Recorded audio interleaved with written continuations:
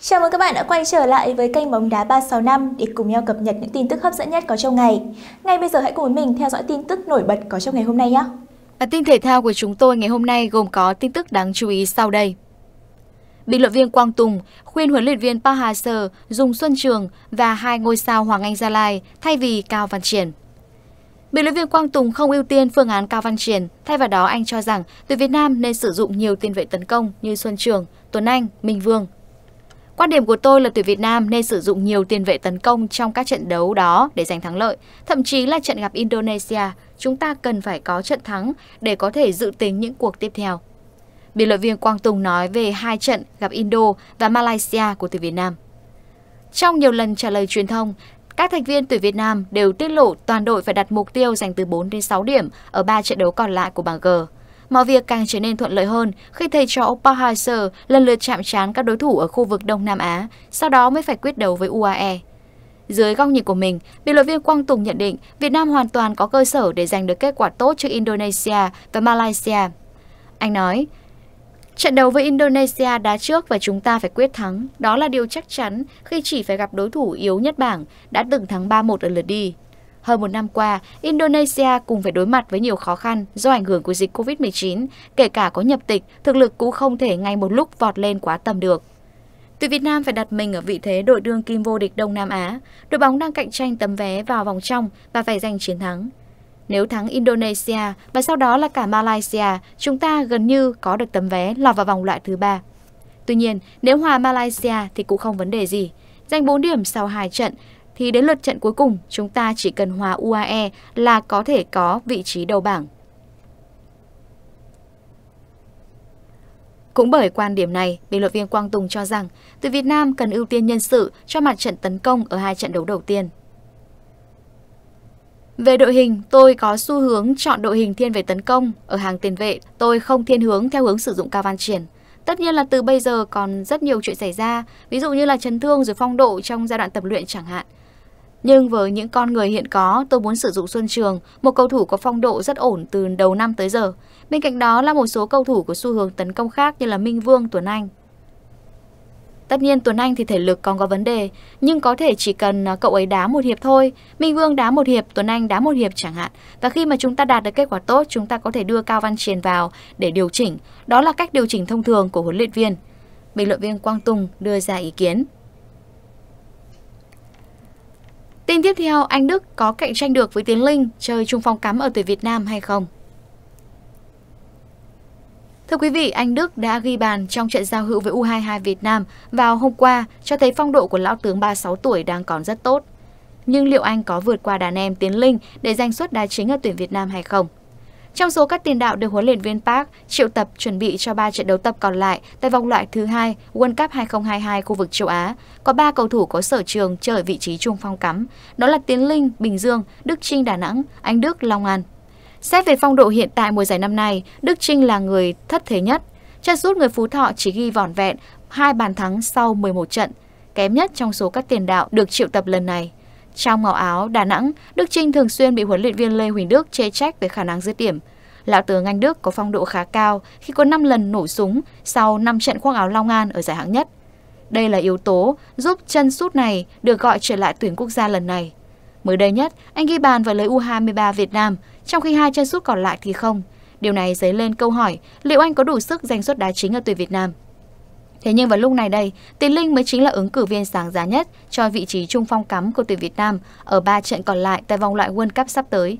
Mùa giải năm nay, tiền đạo người Hải Dương có tổng cộng 6 pha lập công ở V-League, chỉ kém một bàn so với các chân sút đang dẫn đầu danh sách ghi bàn, Văn Toàn, Conan, Rodrigo cùng ghi được 7 bàn.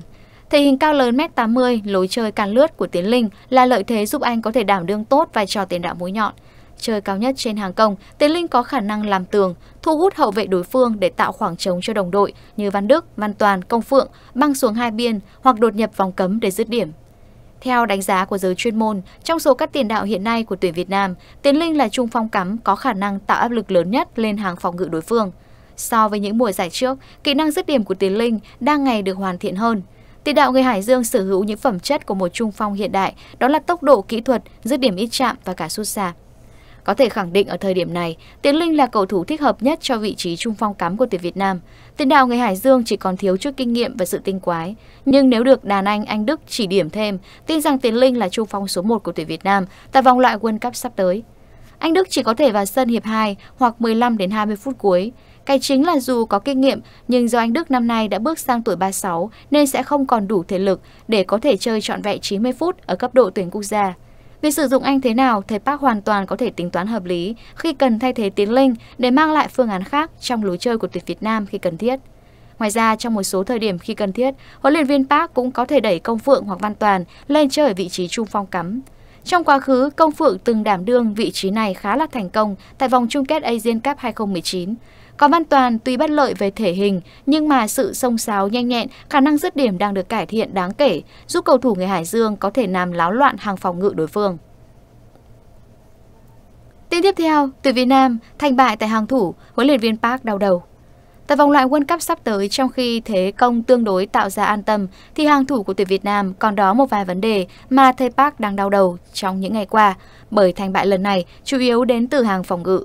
Sau năm lượt trận đầu tiên tại vòng loại thứ hai World Cup 2022 khu vực châu Á, tuyển Việt Nam chỉ để lọt lưới duy nhất một bàn.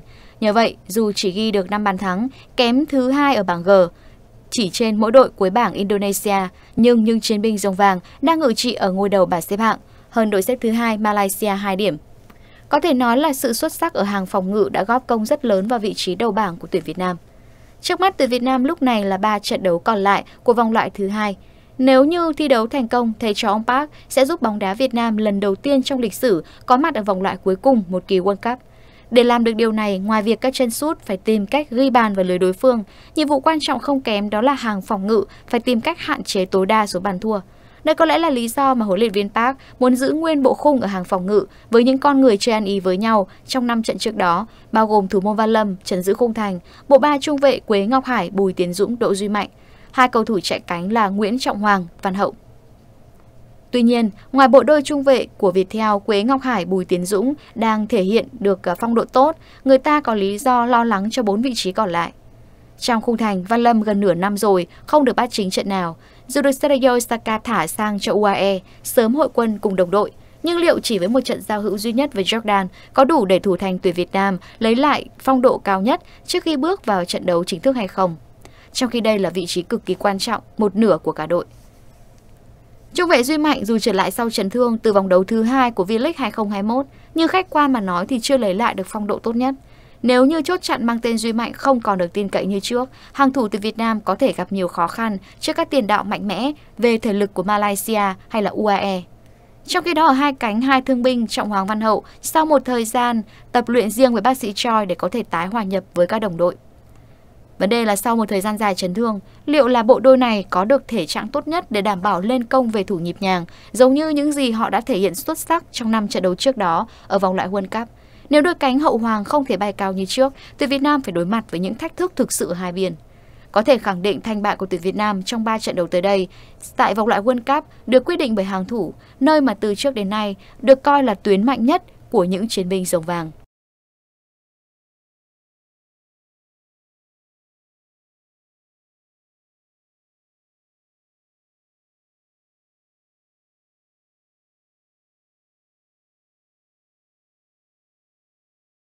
Cảm ơn các bạn đã quan tâm theo dõi video của kênh Bóng Đá 365. Đừng quên để lại ý kiến đóng góp của các bạn thông qua phần bình luận bên dưới nhé. Và cũng đừng quên nhấn like, share và subscribe kênh của chúng mình để không bỏ lỡ bất kỳ một tin tức hấp dẫn nào đến từ kênh Bóng Đá 365 nhé. Xin chào và hẹn gặp lại!